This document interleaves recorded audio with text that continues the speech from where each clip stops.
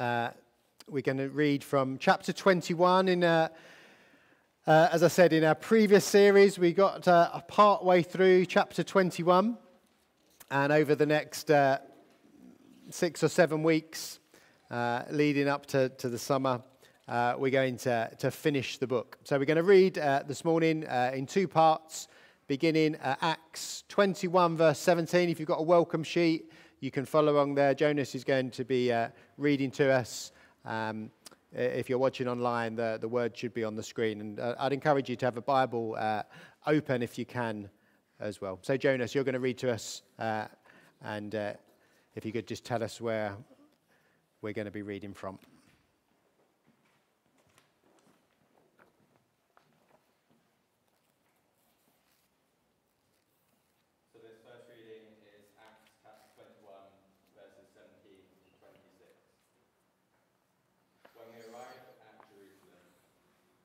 And sisters received us warmly. The next day, Paul and the rest of us went to see James, and all the elders were present. Paul greeted them and reported in detail what God had done among the Gentiles through his ministry. When they heard this, they praised God. Then they said to Paul, You see, brother, how many thousands of Jews have believed, and all of them are zealous for the law. They have been informed that you teach all the Jews who live among the Gentiles to turn away from Moses, telling them not to circumcise their children or to live according to our customs. What shall we do? They will certainly hear that you have come. So do what we tell you. There are four men with us who have made a vow. Take these men, join in their purification rites, and pay their expenses so that they can have their heads shaved. Then everyone will know that there is no truth in these reports about you, but that you yourself are living in obedience to the law. As for the Gentile believers, we have written to them our decision that they should abstain from food sacrificed to idols, from blood, from the meat of strangled animals, and from, from sexual immorality.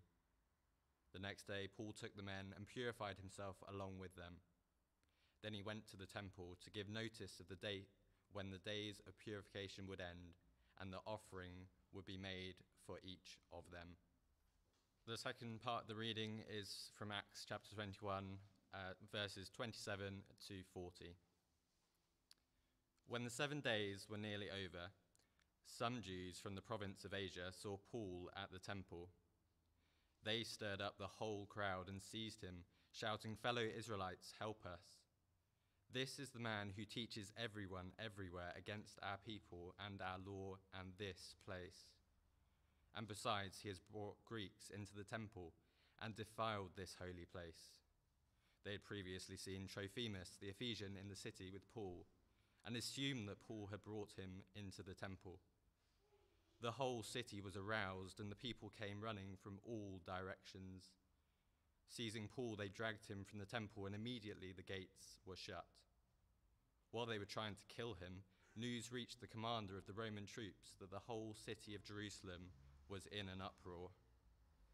He at once took some officers and soldiers and ran down to the crowd. When the rioters saw the commander and his soldiers, they stopped beating Paul.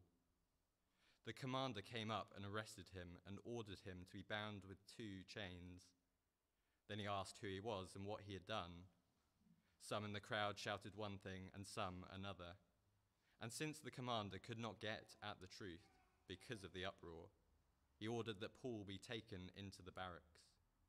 When Paul reached the steps, the violence of the mob was so great he had to be carried by the soldiers. The crowd that followed kept shouting, Get rid of him! As the soldiers were about to take Paul into the barracks, he asked the commander, May I say something to you? Do you speak Greek? He replied. Aren't you the Egyptian who started a revolt and led 4,000 terrorists out into the wilderness some time ago? Paul answered, I am a Jew from Tarsus in Cilicia, a citizen, a citizen of no ordinary city. Please let me speak to the people. After receiving the commander's permission, Paul stood on the steps and motioned to the crowd.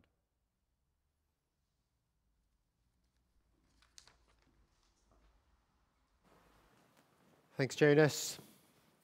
If you've got a, a welcome sheet there and a Bible, can I uh, encourage you to, to keep it open uh, on that section of, of Acts that we're going to be considering together?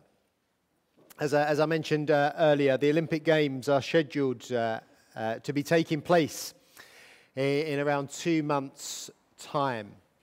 And no doubt for, for all those uh, competing in the Games, becoming an Olympian would have, would have come at great cost. Hard, hard work and dedication and sacrifices are, are part of being a, a top athlete. Uh, uh, whatever it takes, attitude is needed. And as we look at the book of Acts over the coming weeks, we'll see that the, the Apostle Paul has a whatever it takes attitude. He, too has something that he's, he's striving for, not, not, a, not a medal, but, but the goal of, of making the good news, the gospel of Jesus known, of, of taking the gospel to the ends of the earth. Back, back in uh, Acts chapter 19 and verse 21, we, uh, we read this. They're quite, uh, it's quite a significant verse for, for the, the end section of the book, the section that we're going to be looking at over the coming weeks. So, back in uh, Acts chapter 19 and verse 21, uh, we read this.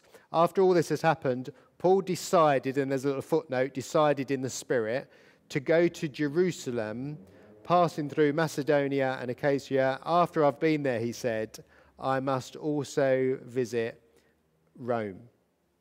Paul, Paul wanted to go to Jerusalem, and then from Jerusalem to travel on to Rome.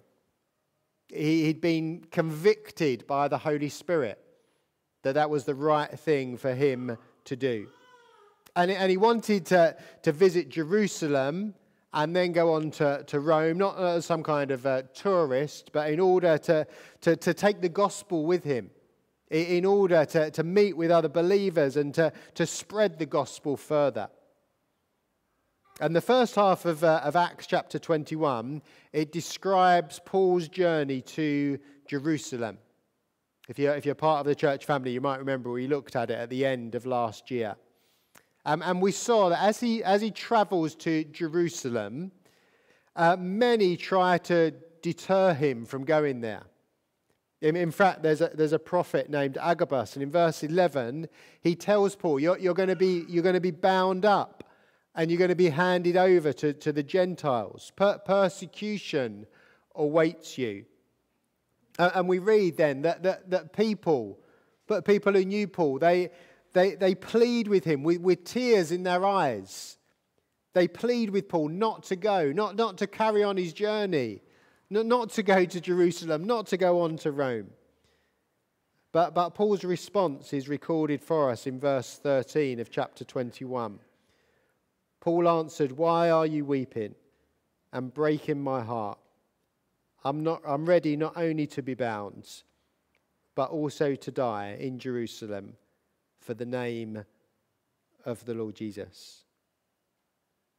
But Paul says, I'm, I'm, I'm going to go regardless.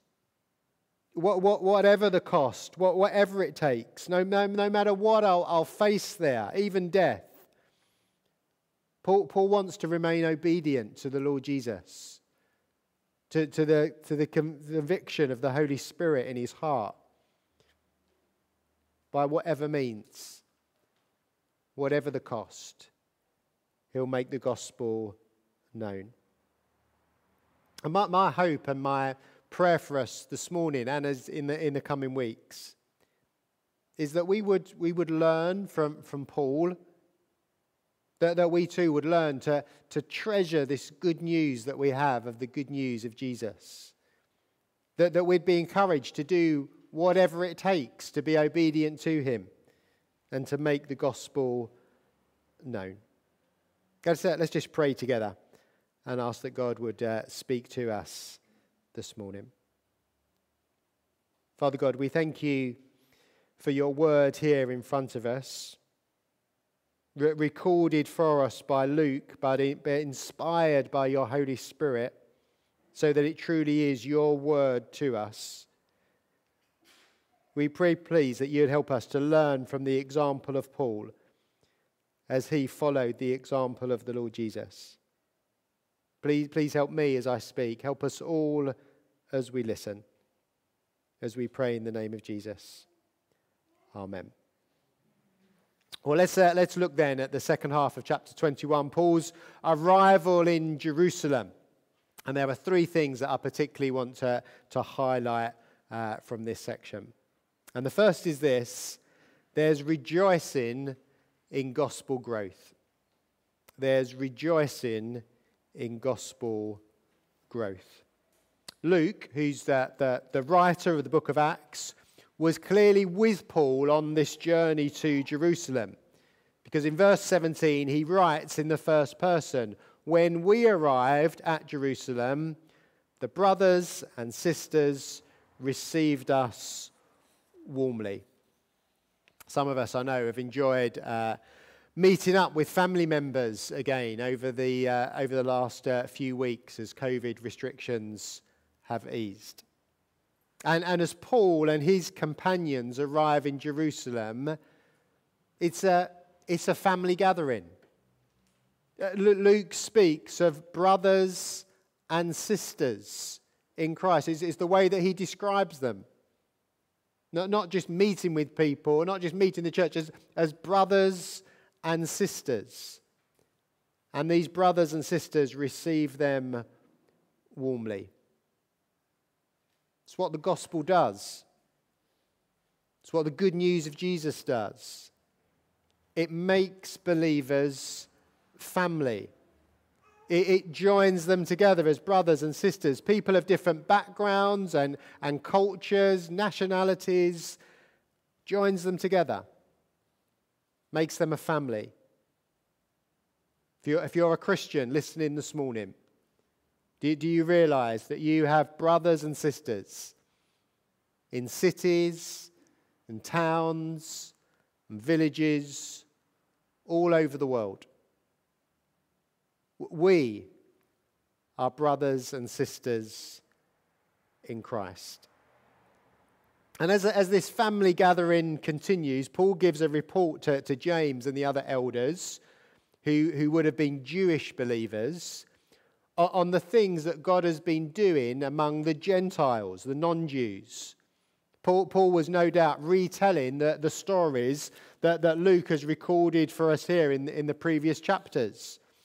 Stories of conversion and, and growth and baptisms and the work of the Holy Spirit in the lives of Gentile believers.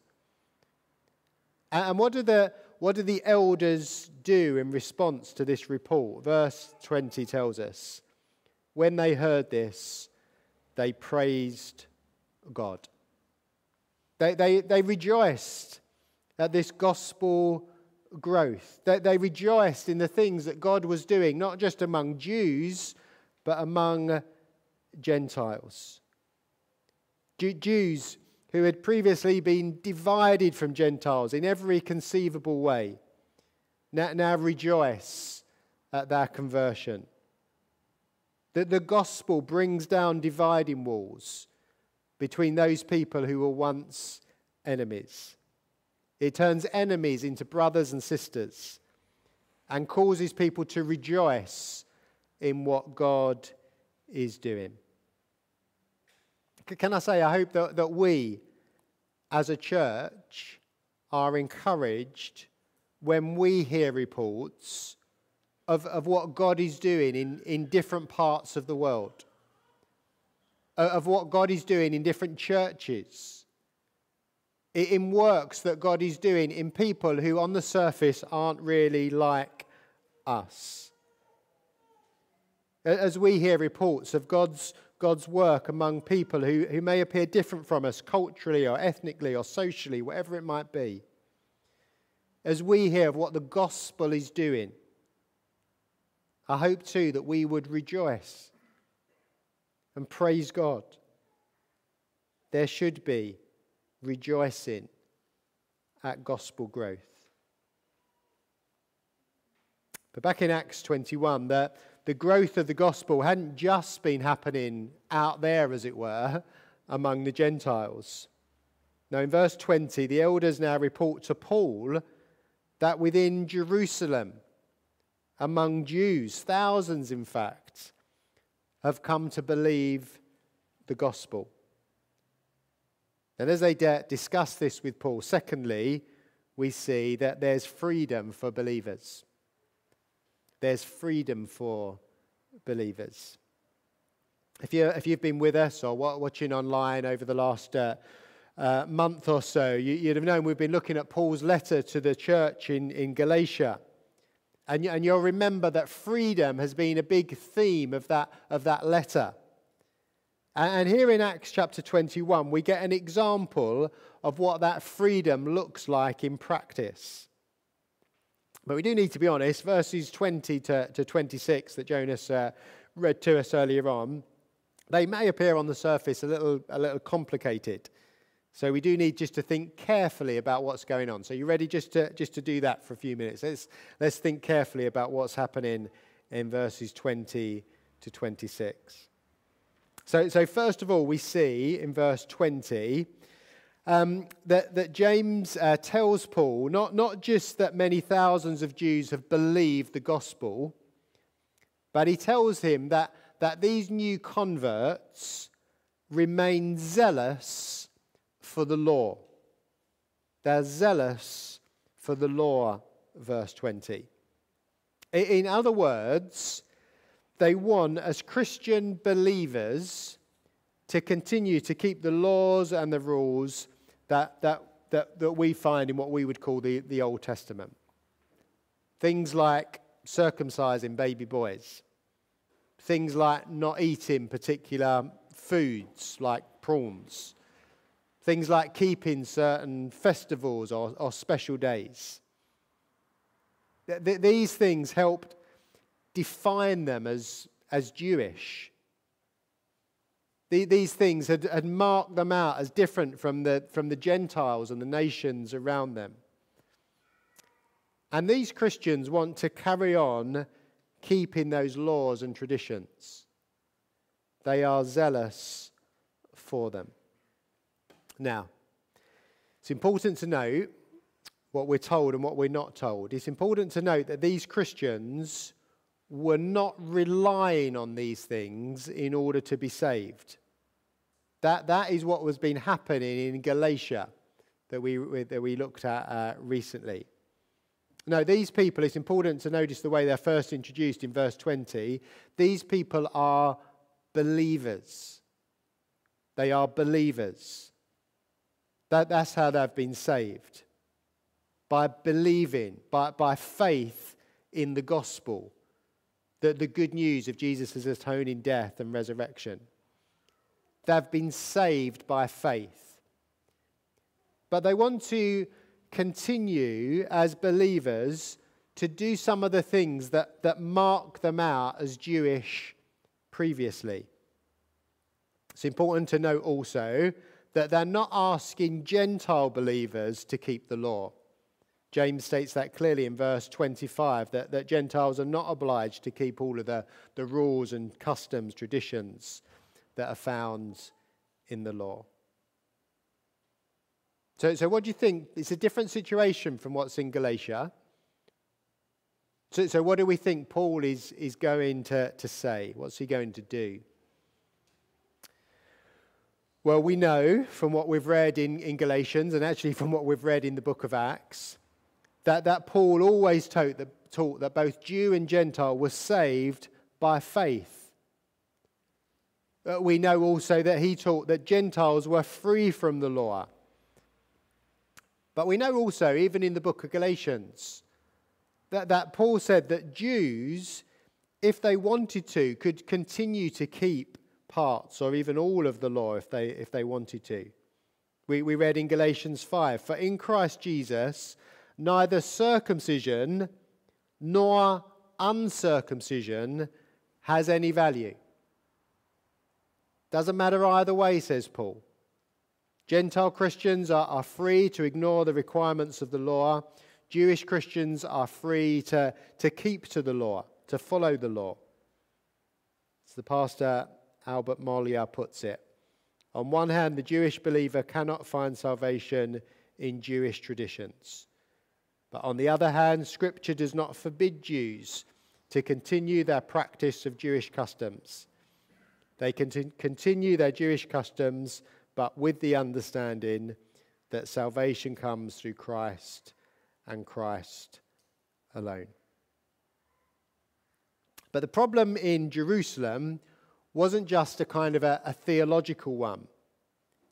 There had clearly been some misinformation, a misunderstanding about what Paul had actually been teaching. Believers had heard, verse 21, we're told, that Paul didn't want Jews to live according to the customs. And he wanted them to, to turn away from the law and from practices like circumcision. These false rumors had been flying around. And so the leaders ask in, in verse 22 what are we to do? What are we to do about this, Paul?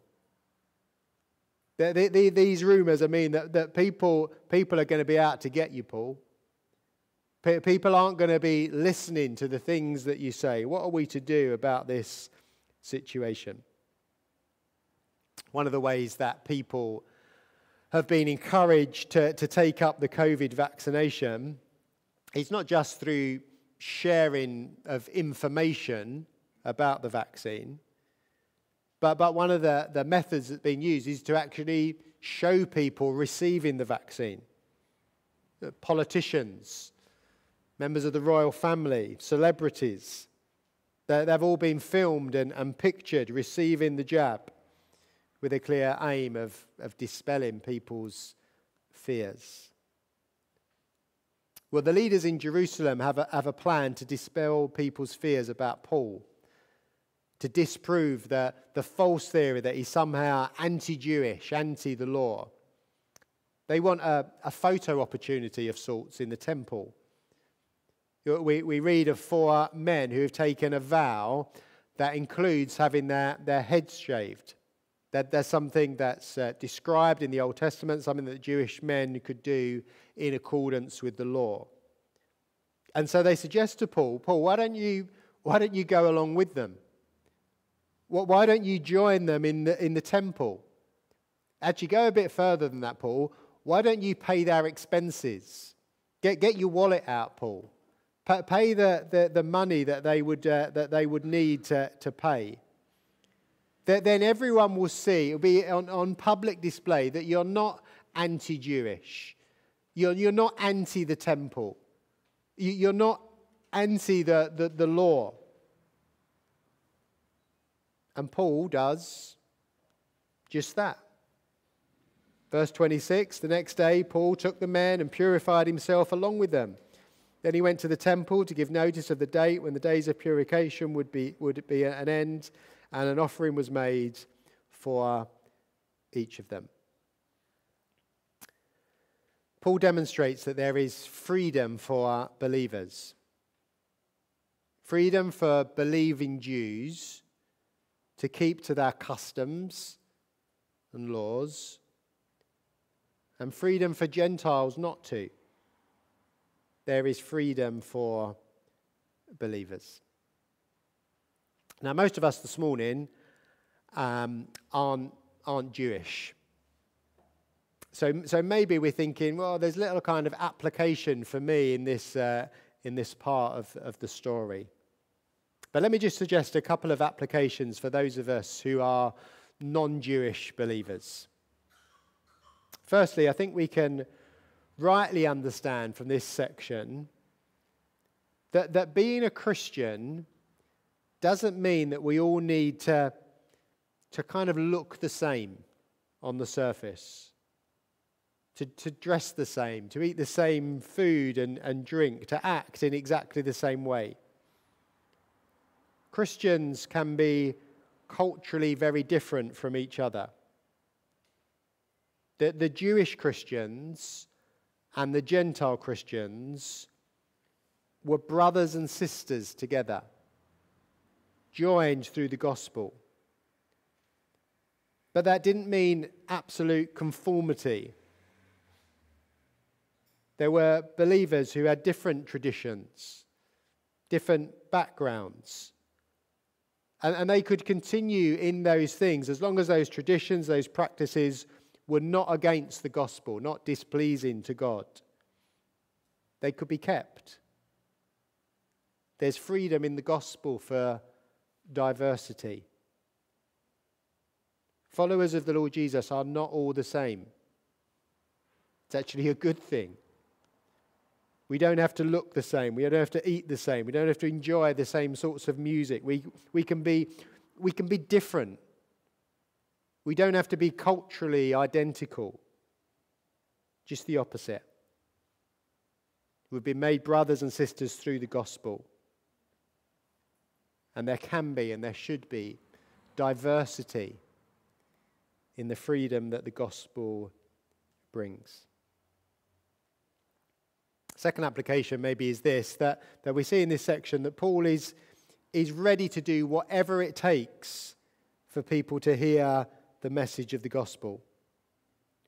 He, he didn't want to be an obstacle for, for Jews in Jerusalem in terms of hearing and receiving the gospel. He, he didn't want people to, to stop listening to his message just because they believe something false about him. He, he could have said no to the leader's request, couldn't he? Could have said, Look, I'm not under any obligation to do that. I, I, I needn't do that. But, but he did. He went along with the idea. He used his freedom for the sake of the gospel.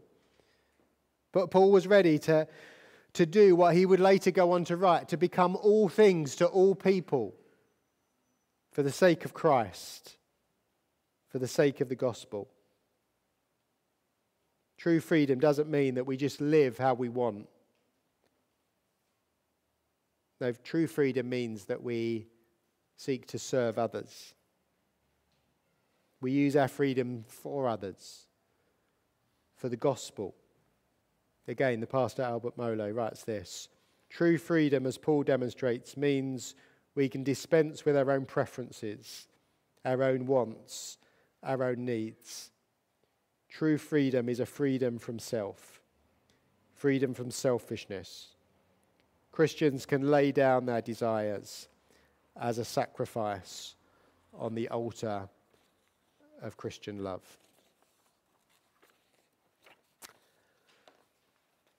Finally, let's see that there's violent opposition and accusations.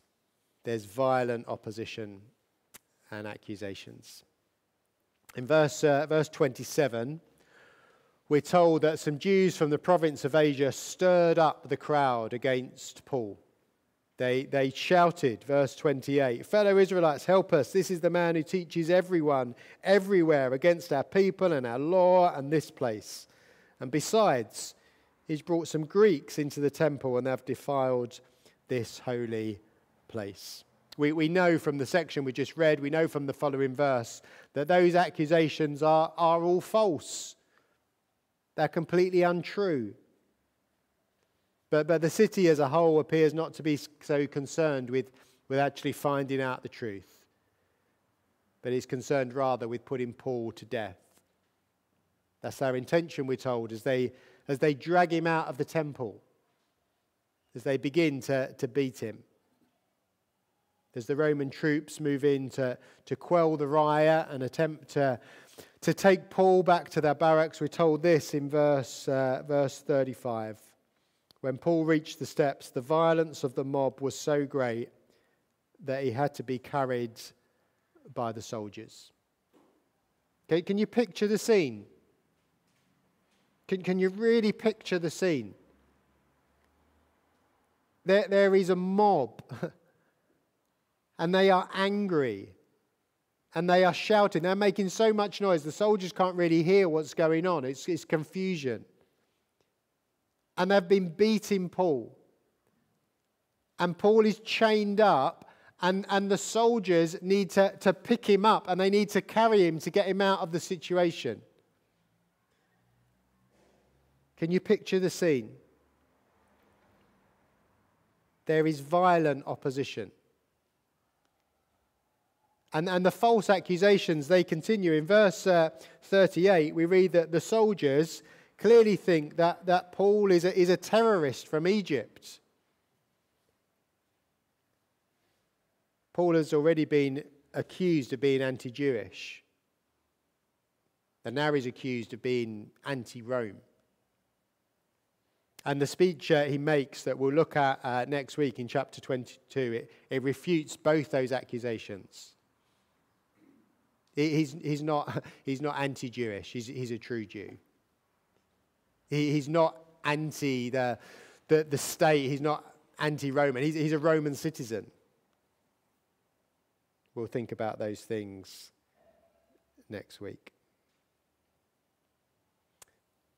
But for now, these verses mark something significant in the story of Acts.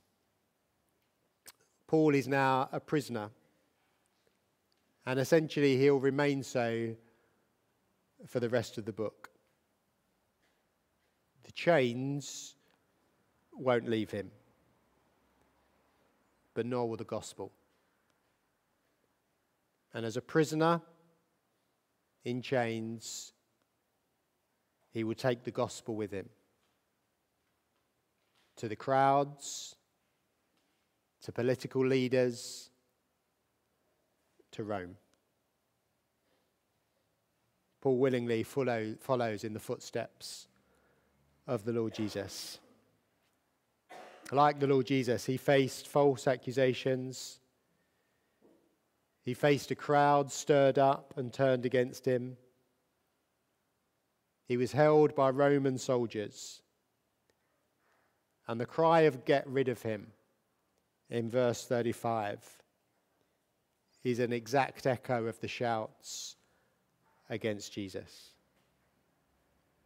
Followers of Jesus must be ready for opposition, for false accusations. Paul was ready, and we should be ready too. As, uh, as we finish, we're going to pray. And let's pray that as an, an individual, and collectively as, as a church, that we would be people who would rejoice in gospel growth. That, that we would praise God for the work that He's doing around the world, not just for the work that He's doing here at Cornerstone or here in Portsmouth. We'd have a, a bigger vision and that we would praise God. We'll, we'll thank God for the, for the freedom that the gospel brings We'll, we'll thank God that, that, that we can be different from, from other people, other believers in many ways, but we're joined together in the gospel. We'll pray that we would use our freedoms wisely for the sake of the gospel. And we'll pray that we would be willing to face opposition and false ac- accusations as we follow Jesus. Jesus, who, who suffered unjustly but Jesus who was raised and vindicated. And the same will happen to us as we follow him. Let's pray together. Father God, we, we praise you this morning that the gospel, the good news of Jesus, has continued to spread. We thank you that, that even today, there will be many, many people around the world who will be hearing the good news of Jesus and who will be trusting in him for the very first time. We, we rejoice in that gospel growth. And we pray, please, that you would help us to, to continue to rejoice in the things that you are doing around the world. We pray, please, that your, your church here, here at Cornerstone and around the world would grow in diversity. That all people, Jew and, and Gentile, would, be, uh, would come to know the Lord Jesus. We, we thank you for the, for the gospel freedom that we have. And we pray, please, that we, we would use that freedom wisely to see the gospel grow. Help us to hold on to Christ, to hold on to the gospel unswervingly, but to be flexible about many cultural things that really have no value. And help us, please, to be willing to, to suffer to be willing to face false accusations for the sake of Christ. Help us to follow the example of, of Paul, to follow the example of Jesus, as we pray in his name. Amen.